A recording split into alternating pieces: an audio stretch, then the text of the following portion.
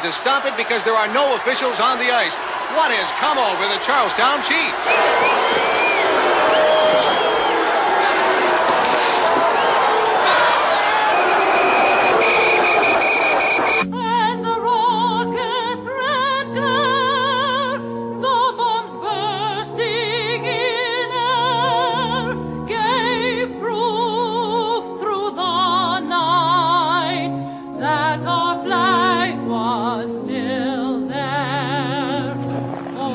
The three of you guys. You pull one thing, you're out of this game. Now I run a clean game here. I have any trouble, I'll suspend. I'm looking at a fucking song!